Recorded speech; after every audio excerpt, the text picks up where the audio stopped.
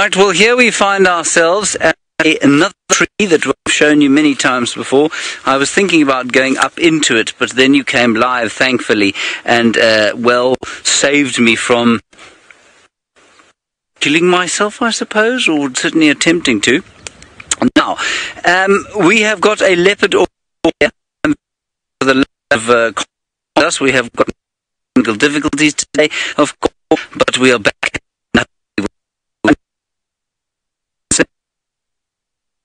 Of ancestor or the looking tree plant with gorgeous yellow flowers, and it always is for me a It's uh, apparently my old sound is not very good. Okay, let's go across to Noel and see what's happening her side. Sorry about all the gremlins, everyone. It does happen. I'm blame, blaming this wind that's coming through for no other reason than just because I can. All right, so we were busy answering a question about the difference between antlers and horns just before we got rudely cut off by technical difficulties. Again, very sorry about that. So, antlers grow on deer and elk species which don't occur in sub Saharan Africa unless you count the feral deer in Namibia, which someone brought over from, I believe, Europe. Um, and then all of the antelope species that we have here have horns. So, horns grow once in a lifetime. They're bony protrusions off the skull with a keratin cover.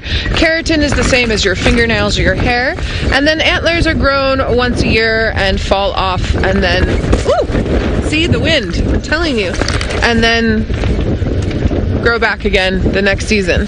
Sorry, I've just seen what I think are some tracks. Just hold on a second. I want to have a little look. We're busy coming through an area where we see shadow, but we've also seen Tundi in this area as well, which is an interesting subject to discuss. I feel like it was leopard tracks, but I can't honestly see someone else has driven here. Um, so territories are defined, but they're movable. The boundaries are movable. And what you'll notice often is you'll have a territorial area, core territory area, and that's where the predators have their little ones. Um, and then they've got a territory that they move amongst, and then a home range off of that. And it's it's not sort of defined. This is this. It's it's flexible, like um, like a bubble. So if you were to blow a bubble, and before you push it too hard and it pops, you can move the sides in. It's it's similar to that. And then the territory is actively demarcated using urine and vocal sounds, um, and the home range is utilized. Can be demarcated, but it's utilized more for food and tends to have a bit more more movement than the territory itself. So interesting little fact for the day. We've got some huge elephant tracks, and I want to show you these Ellie tracks because this is a nice size male. It's not the biggest male I've ever seen, but just to give you relation. So I wear a size seven or eight in South Africa, and in the States I'm a size sort of nine-ish. I'm going to stand next to this track. Okay, there's one foot, two foot, and then a half a foot. Right, so our track is here. See that elephant track? And then when I stand inside of it, it would take four of my feet pretty much to fill up this track, probably a little bit more. So this is a really big animal, and that's just one foot. So many of my feet to fill up that big male. But now that being said, I've seen a track of a male that's probably twice that size. So although this is a good sized male track, by no means the largest. A very good friend of mine that works in the Timbavati, which is a reserve that's north of us, uh, north of the Manyeleti, which is north of us, sent me a video of one of his walks yesterday. And he had four male elephants on that walk that are some of the biggest male elephants I've ever seen. But one set of tush was almost reaching the ground. It was incredible. Okay, my hat is blowing away again. Well, everybody, again, I would like to hear from all of you because we've been so busy with rehearsals, and a lot of them have been private rehearsals. I haven't had a chance to check in. So send me your thoughts for the day, or questions, or comments, and we can chit chat as I drive along looking. Interestingly enough, and the, for those viewers that watch us often, we have days that, oh, very cool. Thanks, Senzo. Very, very cool. Looks like a steppe buzzard. Oh no. Oh, Sens, I'm sorry. Is he going to land? Oh, he's landed since you haven't. Oh, well done. It was a steppe buzzard. The steppe buzzard was sitting on top of this termite mound, and I was assuming it was probably picking out little winged alates. I'm not going to back up because I don't want it to fly away again. But it would be nice if it showed us its head. There we go. Picking off insects off the branch of that that marula tree. Insects are a huge part of many animal species diets with well across the world. But you know, since we're in the African bush, we'll talk about the African bush. Um, lots and lots and lots of protein in there. Now the termite mound that it was on earlier the biomass of those termites is larger than any other combined species across the world, as a little side note for today. Now, the reason why I say steppe buzzard has to do with the coloration of the legs and the coloration of the fur but something that I have to continually work on as a guide always is uh, birds of prey during d- different juvenile stages with different colorations. So, eight times out of ten, I'm correct, and then the other times I have to go back and look. But this is what my gut feeling is telling me, and I'm so sorry he's hiding his little head away. Sense, do you want to risk it? We can try and back up. What do you think? Maybe. Let's try. Very Here we go. Don't fly away, little bird. Oh, no. Sorry, everybody. He's off. But we did get a nice view there, even though we couldn't really see his head. This is the termite mound that he was on top of to start with. Quite a large termite mound. And since we're doing the size of things, I hope I don't fall off and imitate Taylor today. But we'll go climb up. So I'm 172 centimeters, which is about five foot nine. So we did my foot size. Now here's me standing at the base of the termite mound. Okay, climb a bit.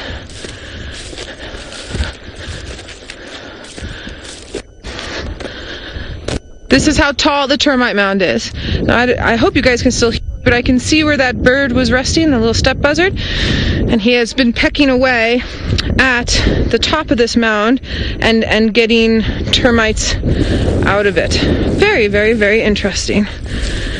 Now, we've talked about how termites taste, the winged alates, the ones that fly out of the mound this time of year taste like peanut butter a little bit. You can fry them up, they're good. The other termites I haven't eaten, but I'm assuming they taste relatively decent.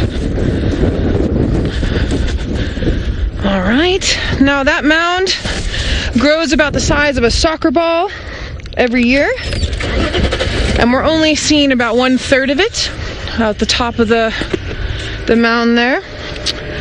So that mound is several hundred years old. I mean, a soccer ball is about this big, a European football.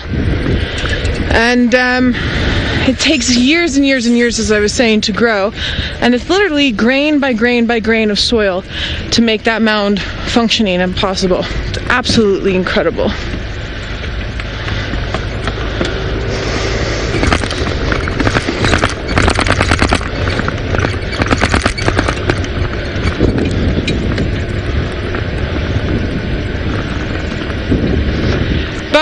Asking, do we ever see any heavy-headed Bobby, we get crows.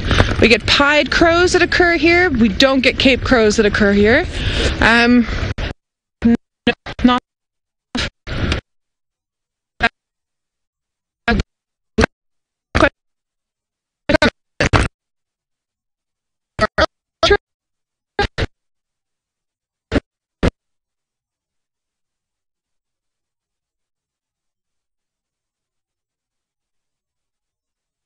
there and in tune with it. It's pretty amazing.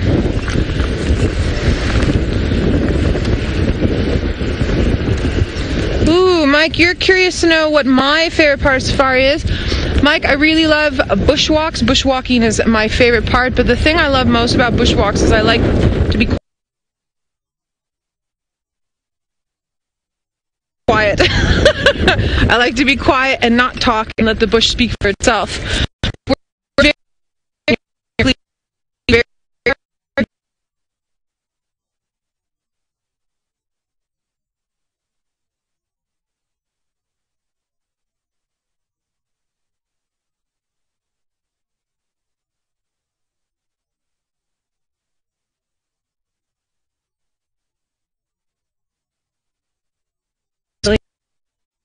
doing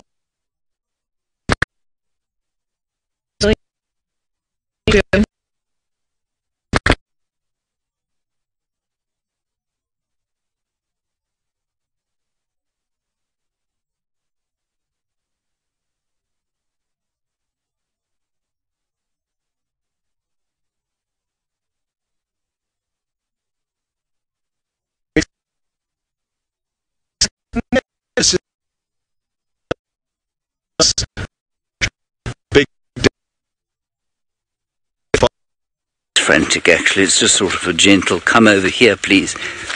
He's found something that he wishes to show us. Herbert, what have you found? A parasite? Where?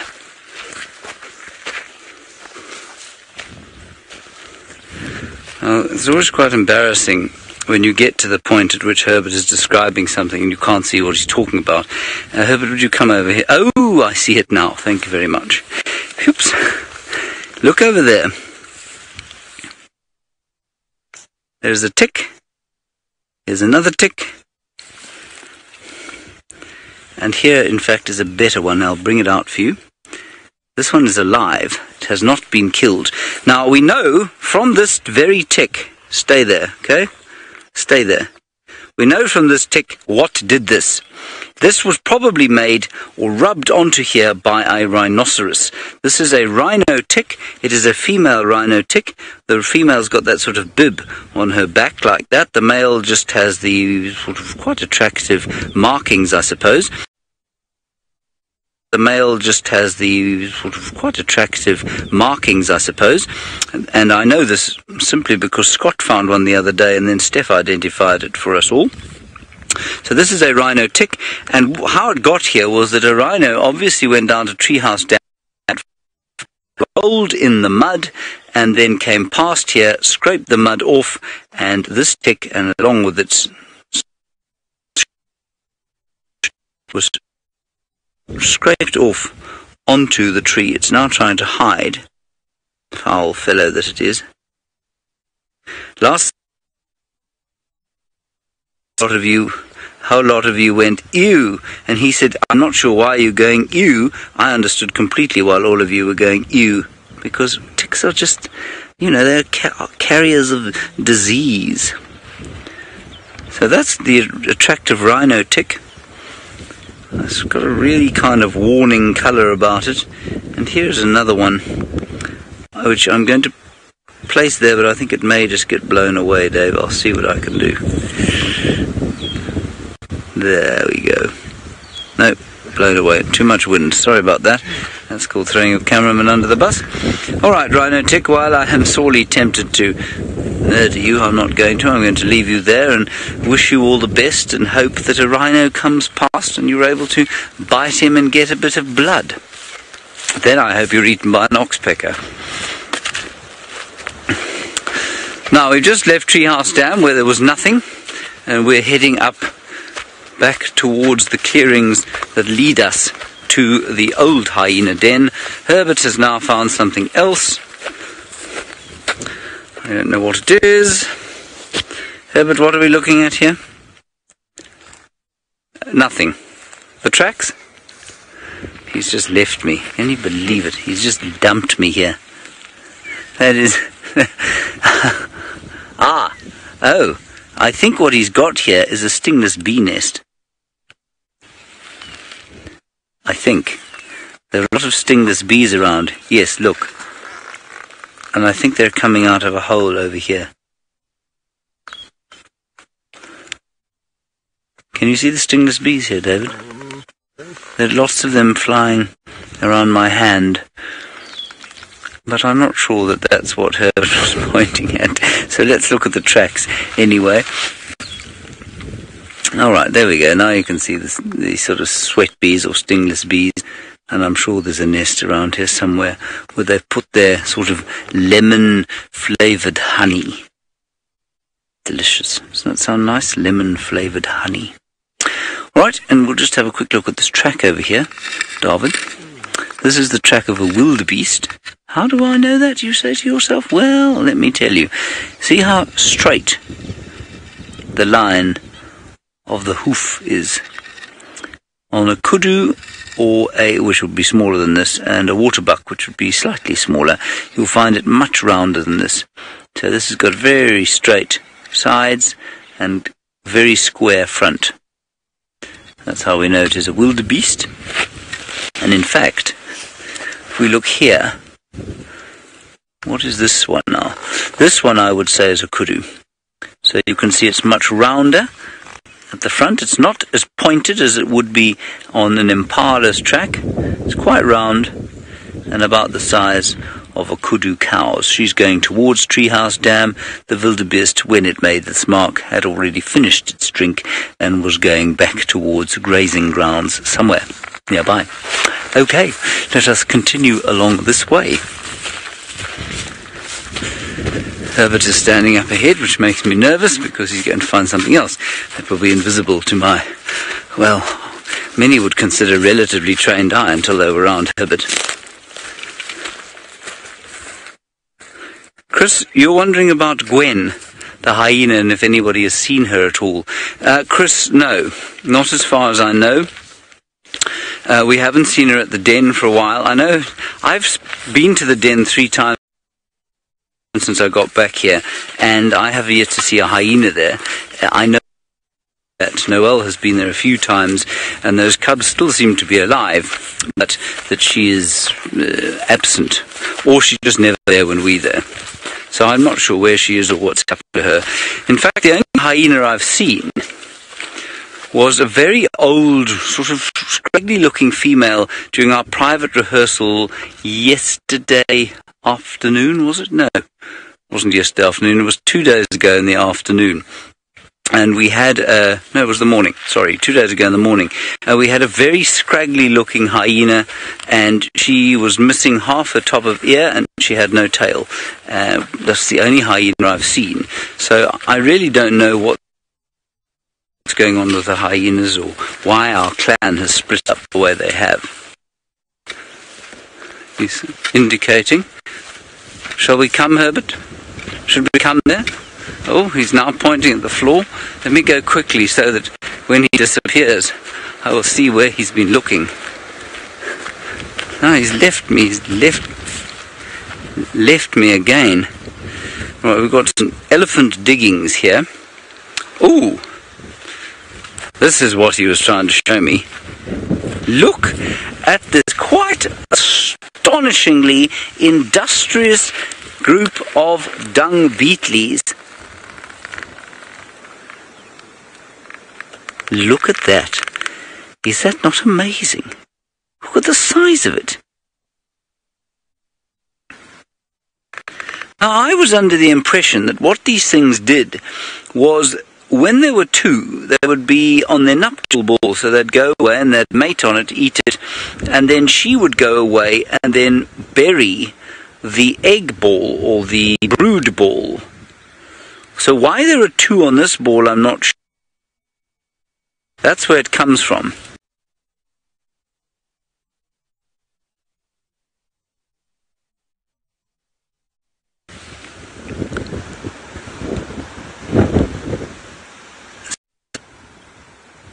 See how they go underneath?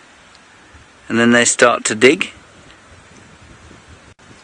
And this is a, this is not a new situation here. I mean, this ball has been around for a while. It's already got termites growing on it, or not growing on it, living on it.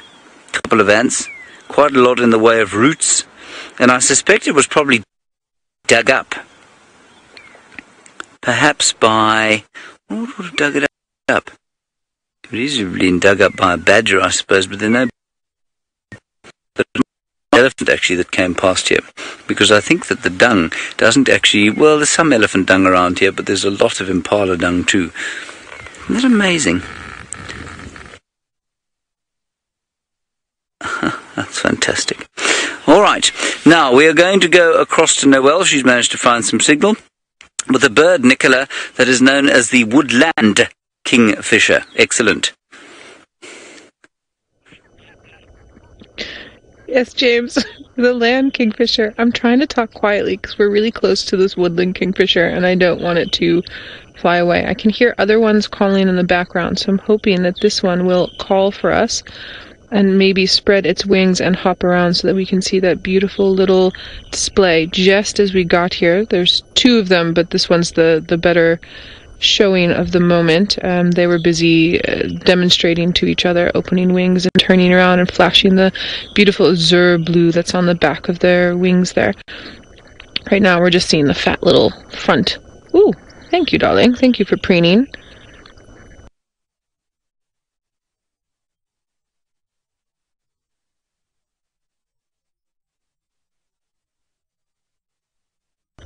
See how they move their feathers around and also when they're doing that there's a little bit of oil that's in place. They also take insects off that way.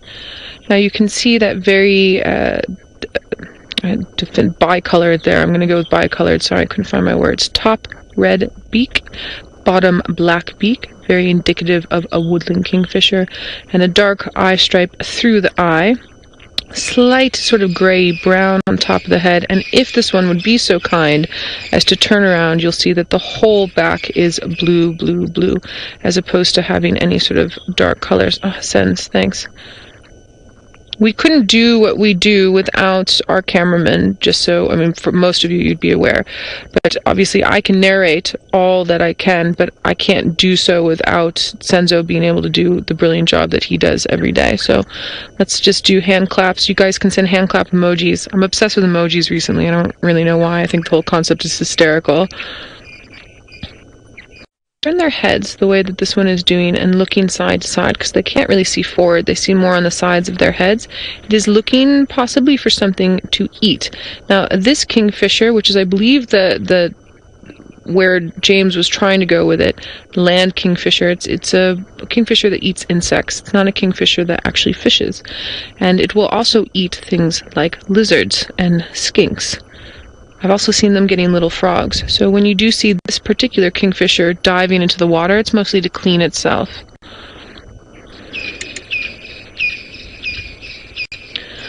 Becca, you're curious to know what is the largest insect we get in South Africa? Um, weight wise, I'm unsure of Becca, but I think size and possibly weight wise might be something like a rhino beetle. This one's a bit, this bird's a bit small to be able to eat something like that rhino beetle. It's going to eat uh, smaller insects. I do know that there's cockroaches that are larger than the size of my hand, and I have a relatively normal adult size hand. Uh, but most of those cockroach species occur in more tropical areas.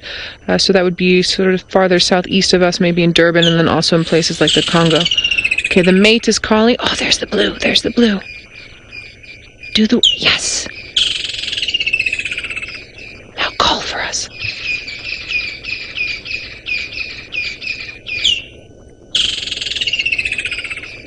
Listen, everyone, this is amazing.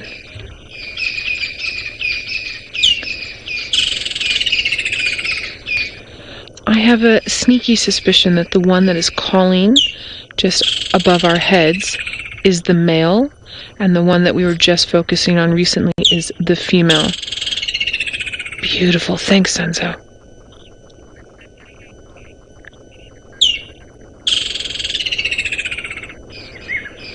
Beautiful.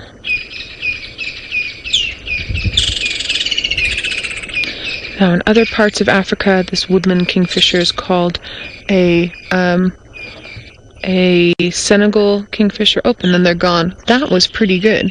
So the names that we're using here are not always the names that you'll get across the continent. For instance, a gray-headed kingfisher is also known as a rufous-bellied kingfisher in other parts of Africa.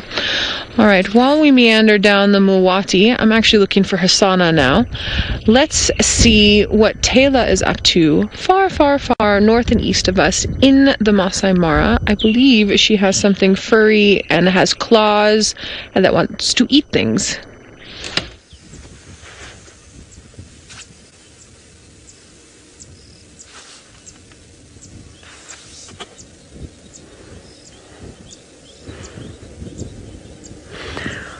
Welcome again, everybody. Sorry about all the gremlins that we have been having in the Mara this morning. it's given me some time to dry off though, and the mud is starting to cake and crack along my leg. Oh, sorry about that, everyone. Uh, well, he's a lovely male lion. He doesn't seem to mind the cars too much. And he's all on his own. I can't see any other boys around. He's a beautiful lion. I don't think I've come across this fella this morning. his mane standing straight up. He's trying to dry off after the torrential downpour last night. He is a lovely, lovely cat, though. He's not particularly old, though. I'd put him at mm, maybe a four years old. He's not small, that's for sure. His mane is starting to develop quite nicely. He hasn't quite got the mane coming all the way around now. He's gone up to that car. What are you doing, boy? Think you just had a smell. Sometimes what happens is when you do drive around on these roads, you can accidentally drive in animal dung, and then it does make them a little bit on the curious side. So I'm just going to quickly reposition. We're going to try and get onto the other side of that vehicle, and then we will view him. But how cool is that? So from having nothing and getting stuck and then slipping and falling face first into the mud this morning to having a beautiful big male lion. We're not going to be able to follow him unfortunately. Uh, as you can imagine, it's very slippery out here. Where are you off to, big man? And and this particular area is, not great. There's a lot of black cotton soil, so uh, off-roading would kind of be off limits. I mean, well, in my in my case, it's one thing driving on the road and getting stuck, but if you are off-road doing something silly, then you kind of deserve it. But he's covered in flies, lots and lots of those biting flies, and I actually just fought with one. I did kill it. I'm not even going to tell a story. I murdered a midge that bit my leg. It was very sore. Uh, I don't feel any kind of, oh, I don't feel bad at all. And that's what they'll be doing as well. They'll be biting that lion. Maybe uh, that's why he's going to go move or find a bit of shade. He wouldn't have been sitting out here all day anyways. Uh, it's not nice at all. It's going to be hot, hot, hot, hot in the Mara. Literally, with all the rain we're having, it gets quite humid in the afternoon and then another storm starts to pour down. And I think I know where he's going. I think he's going to that big tall Balanites tree uh, just off to the left of him.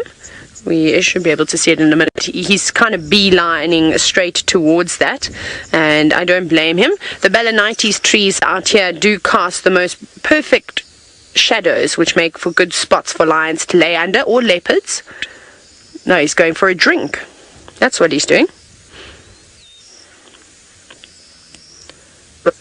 Look how well camouflaged he is now. Now, Craig, you're wondering if the rain affects the animals coming out into the open. Um, when it is pouring with rain, you might find some of them seeking a bit of shelter. But for the last couple of evenings, we've been sitting with lions in torrential downpours as we prepare for Big Cat Week uh, coming up next week. Remember, that's the 14th of December, 10 p.m. Eastern Standard Time on Nat Geo Wild. In case uh, uh, you didn't know, didn't want to get his paws wet there, so he leapt across a little bit of water. Uh, so yes and no. I think it just depends on the end, uh, the individual whether they're quite comfortable with the rain or not. Uh, sometimes when it does get a bit too hard, they will go and find a bit of shelter under a tree or, you know, just sit in the opposite direction that the wind is blowing behind a shrub, and that normally it will shelter them enough. Uh, it, I think it's just a particularly quiet morning. The triangle hasn't been as busy as what it was when the migration was here, so it makes it a bit tricky for us to find the animals. And because of all the rain, the grasses, of course, are thriving at the moment, uh, which is great for all the animals except for us because it makes it hard to try and spot the, the, game. And i mean this grass isn't even tall. This is probably a shorter section but you can see it's covering half that lion's body. And as soon as he sits down in that grass we're not going to be able to see him anymore. But let's watch him disappear. It could be quite funny. So how lucky are we that we did manage to get this male lion out on the road? But for anybody else that comes past here, once he does sit down, they're going to have absolutely no idea that there's even a lion around. Just be lying about in the grass. But not racing off either, just taking his time. Off he goes. Bit of a breeze now too. I think we're going to be in for a windy afternoon, but we need it because that will help dry out some of the water that is sitting on the roads, uh, which will be good for me. Maybe not Jamie and Brent and anyone else driving around because they can drive the cars properly. I apparently need some lessons. so I sent uh, one of the videos, Archie, who's on camera with me today, uh, he made a, a, quite a funny video. Can you believe it? He actually got me tripping and falling as well, which I thought was hilarious. He was out the car trying uh, to add the tow rope. So I sent the video he made to my dad, and my dad he just laughed. He thought it was the funniest thing in the whole world. and then called me an idiot. ah, right, boy, where are you going to choose to sit? I think he's on his way there now. Or maybe he'll go even further. Perhaps he's not just going to go and look for some shade. Maybe he's going to go for a bit of a hunt. Now, it's not uncommon to see such young male lions all on their own roaming around. There are actually plenty of. Uh, and and he's gone, completely disappearing into the long grass. How cool is that? So that's a magic trick for this morning, and we are going to move away from our lion now. Otherwise, we'll just sit here for hours and hours and hours and hope that he pops his head up just every now and then. So we won't bank on that. but at least the Mara is back up and running again. I'm so sorry, Nikki. Please, can you say that again? I didn't quite hear what she said to me. Why is my volume so soft? We turn that right up. Sometimes I turn the volume down. And my shoes are very, very muddy at the moment. Now, I'm not sure who I'm sending you across to in South Africa and in the Sabi Sand, whether it's James or Noel. I'm sure you'll enjoy what they have to show you. We did have some birds we wanted to show you, but I'm afraid they've had about four birthdays since we first saw them. They've flown away but there's some kind of insect emergence around here. Red-billed buffalo weavers and wattled starlings and drongos going together. Anyway, uh, let's not worry about that. The last time, or one of the first times we had some nasty picture breakup earlier today, was with a him to come and see if we can't have a better look at this leopard orchid here, also flowering. It's in another tree that's impossible to climb. It's really quite clever. You see it there, David?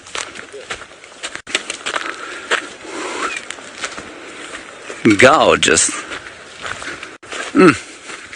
Now, before we were rudely interrupted last time, what I was wanted to tell you was that you get two species here, Ansellia africana and Ansellia gigantea, one of which has the brown spots and one of which is just plain yellow. Now, do you think that I can remember which one is which? No, I cannot.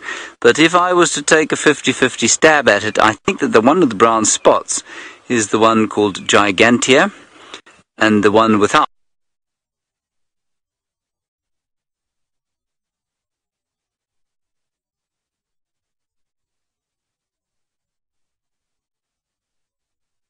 sure how long we've been back live or how long we've been off. Frankly, I fell asleep in a drainage line. It was extremely pleasant listening to the singing of some wattled starlings in the trees above, the gentle breathing of Herbert and David as they uh, contemplated their lives here on planet Earth. It would be A pleasant way to spend a Sunday after morning. After morning. Sunday after morning. here is a grass a Setaria species, I think, of some sort, perhaps Setaria sphacelata, and much like with the first one we started with, remember, David? Mm. We had lots of male parts on it. There they are, and they're one that is either about to flush with its male parts or is not going to at all. Isn't that lovely? I can't. It, I think it is a Setaria species of some kind, but I'm not sure which one. Really pretty. An ideal grass to put in one's beak while one is walking. Would you like one, David? Yes. You would? Thank you. There you are. Thank you. Marvellous. Good. On we go. Here's the same grass that's come out in slightly more exuberant flushes of male bits. I feel like saying male bits is the wrong way to, descri- to describe it. There it is, a Setaria species. Apparently, some of them quite good for grazing, some of them not so good. Now, I'm hoping still before the end of the show to show you the. Um, oh, come on. The flower we started with, with the purple bract, the bracteosus. Syncholo, Syncolostemon that's it. I'm hoping to find you one before we end because many of you will be waiting on tenterhooks to know exactly what I was talking about, won't you? Yes, I know you will. Don't worry, I'll do my best. Despite all of the technical difficulties we've had today, see what else we can find up through here. I'm also desperately looking for a site where there are caterpillars because I need some caterpillars for my Big Cat Week hosting job in the TV show because, of course, caterpillars has the word cat in it. You see, David? Yes. Yes. Kirsten came up with that, it wasn't me. Ah. Let's see what else is up here. I think I'm the only feed, everybody, so I'm afraid you're stuck with me for now. And David, of course. Now, here we have the lion's eye plant. Very nice. I'll tell you a story about the lion's eye. Here's one, David. There, I'm not going to pick it. People become offended if I pick the flowers. Uh, rightly so, rightly so. I picked one the other day, didn't pick it, I dug it up out of the ground, put it in a pot, because I wanted to use it for Big Cat Week on account of the fact that its name is Lion's Eye. Get it? Good. And its root is about a foot long. I dug it out and then I put it in a pot and I thought it was going to die. And it has rallied somehow. I've sort of wrapped it round, uh, folded it in on itself and potted it in the pot and put, there was actually some potting soil, so I used that and some fertilizer, a bit of water, or Nicola put water on it, and it rallied after 24 hours and is now living. And so will feature on television. Can you believe it? In the not too distant future, 10 p.m. Eastern Time, the December the 14th. That's Thursday night, where you are in America and Friday morning for us, and Friday afternoon in Australia, and possibly in Fiji as well. Good. Except you'll have to watch it on the internet, you won't be able to watch it on TV.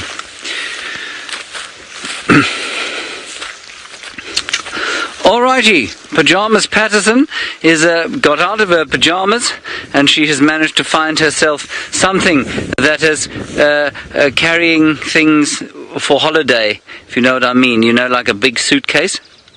Of the morning. Look at this tiny little elephant. I don't really know what else to say about it.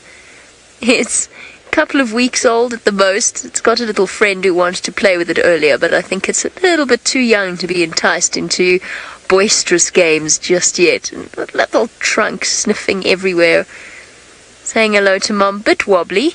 Little bit wobbly. Still not quite a hundred percent on this whole walking thing. And as for the flappy thing on the front of its face, well, that'll take a little while to master. Hey, baby. You are so cute. Something to make it all worthwhile for those of you who stuck with us through the gremlins. We do appreciate it. Thank you. And I have some really nice news for you. You know the marsh breakaways, the lionesses, the three lionesses, they've got four biggish cubs. Well, remember weeks ago, Manu and I filmed that tiny screaming little cub in the drainage line? Well, there's three of them, and they've just been introduced to the pride. We saw them for the first time while the gremlins were attacking. Unfortunately, we had to leave as the, the road was sort of in that whole drainage system and it was just getting boggier and boggier. And we were about to run the risk of quite quickly taking Taylor's marshmallow crown from her. Oh, so lovely.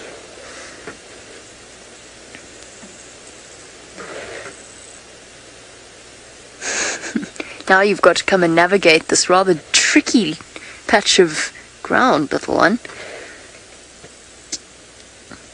Come on, everybody else is going across. Best catch up.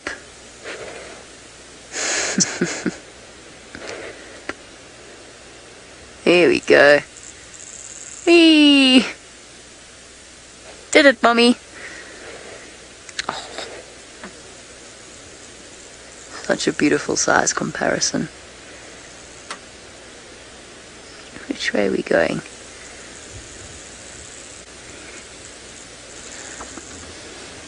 Here we go now, up the other side, through the mush. Through the mush, and the friend's waiting for you. Friend's so excited to see you. Yes, look. That's a friend for you.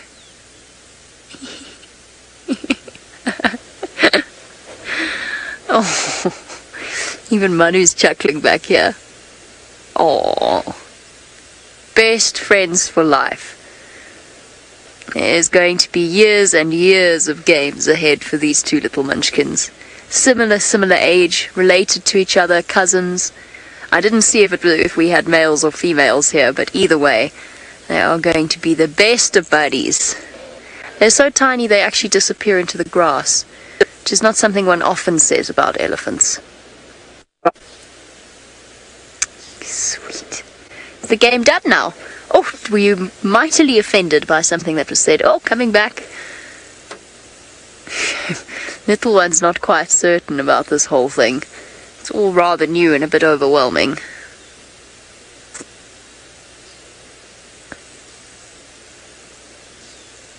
The elephants are just having the best time at the moment. There's so much water around. now they're all coming across. Hello. Don't worry, Mum. I didn't do anything. It's okay. It's okay. I'm just sitting here. Don't look at me like that. I'm just sitting here. Don't you mind me. That's just one female gave us a bit of a head shake. And you two at the back, what are you doing there? Is it all just too much? It's just too much, huh? Attention overwhelming. Okay, as our Ellie roadblock moves away, let's head across back to South Africa to Scott, who has found something that has lots and lots of stripes.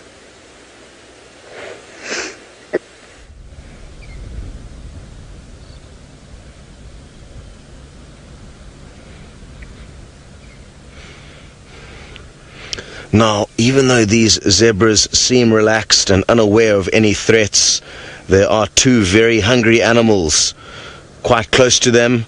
Those two hungry animals are myself and Ferg. Thankfully, I think the zebra are probably a little bit too quick for us to catch and eat, and I'm not sure how tasty zebra is for us humans anyway. Only kidding. Um, we're here on the quarantine clearings, and I think these are the first zebra I've seen since I've been back. So, enjoying looking at them and the differences between these. Oh, maybe it's not just Ferg and I that are hungry. Maybe there is something else. What was it? Uh, it was an impala that kind of ran behind some bushes there. You may just see a few flashes of orangey brown. And it was that impala that gave the zebra a bit of a fright. And that's why they all came running towards us. And it's the windy conditions that are making them a little bit uneasy. Very good. So, like I was saying, these zebra are quite a lot different to the zebra you'll see with Jamie, Brent, and Taylor up in the Mara. The main difference being their size. These will be a little bit bigger than the Grant's zebra up in the Mara. As well as in the terms of appearance, these guys have got a brown shadow between their black stripes, so they're not as smart looking, I don't think, as the zebra up in the Mara. Very good. We shall continue perusing and see if we can find you anything else of interest before the end of the safari. I know there's not much longer to go. Seems like we've been having a few technical difficulties, but fear not. We have a Russian genius who's busy cracking some codes all the way up in Kenya, trying to make everything work again. From what I understand, everything's okay our side. I think it's the YouTube technicians or YouTube have somehow dropped the ball. We'll blame it on them today. Sorry, YouTube. I'm told everything is okay on our side. Always fascinates me the technical side of things because my little brain just can't even begin to comprehend how it all works. But I find it surprising how some days it works and some days it doesn't. It seems like now we'll be sending you back up to the Masai Mara to see if everything is still working with the stream up there. I'm not sure who you're going to, but you'll find out shortly. Go ahead. Don't stop there. Hello. Please don't stop. Okay, there we go. let's let's quickly, Manu, let's quickly move on to the other side of the road before this next car comes through and does the same thing. Where's the best view? Hey, girls. There was lots of talking while you were with Scott. Lots of deep rumbles from the elephants. I don't know what they were saying to each other. I don't know what was said and got a response in that way, but they all suddenly formed a defensive circle briefly and then relaxed and started feeding again. If I had to guess, and it would be entirely guesswork, I would say one of them probably smelt lions from last night and rumbled to the rest of them to just be on the lookout. And then they realized that the scent was old, or they realized that there were no lions, and they immediately relaxed again. If I had to guess, that would be what I would guess happened there.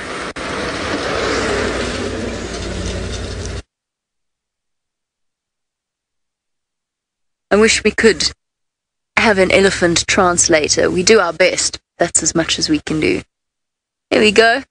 Now being harassed by a slightly large elephant. So that little one, the one on the left, that's the one that was playing with the tinier baby. You can see it's got a floppy ear. But the tiny baby didn't really want to play and went running off with mum. So now it's got a larger cousin that's decided to come and entertain itself. Now the tables have turned slightly. Now going to be pushed around. And that floppy ear will probably stay floppy for the rest of its life. Oh, oh. The elephant's favorite game of push and shove each other. So sweet. Okay, as our little elephants entertain themselves on this bright, beautiful Mara morning, Taylor has found a bird that is found almost anywhere, whether you're in Kenya or South Africa. Ah, our Egyptian goose, Jamie, has morphed into a spur wing goose now, which is still pretty cool. In fact, and there's a pair of them wading through the marsh, but I'm not even going to do any more talking. I'm going to let nature do the talking. So everybody turn the volume up as loud as it can go.